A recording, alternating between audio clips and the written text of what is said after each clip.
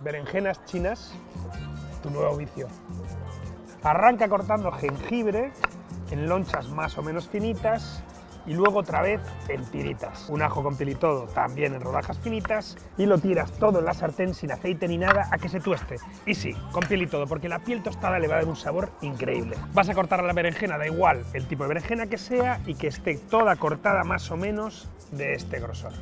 Y cuando veas que está tostadito, le vas a echar un chorrazo de aceite de oliva virgen extra lo dejas que baile y justo cuando empieza a dorarse también el ajo y antes de que se queme echas la berenjena, remueves bien y cuando la berenjena haya absorbido todo el aceite le vas a echar medio vaso de agua y lo cocinas medio tapado hasta que se evapore completamente y queden solamente las berenjenas. Es ahora en este momento que se evapora el agua que el aceite empieza a hacer lo suyo, dale la vuelta a todas las berenjenas y vienen los tres momentos claves. El polvo mágico, cinco especias chinas. Ponle sin miedo, mezclas bien y vas directo con un chorrazo de soja.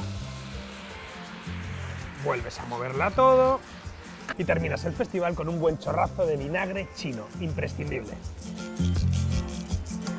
Cocínalo durante un minuto, lo apagas cuando esté listo, lo remueves bien, le pones un chorrazo de aceite de oliva virgen extra crudo, lo vuelves a remover todo bien, sirve las berenjenas en un plato,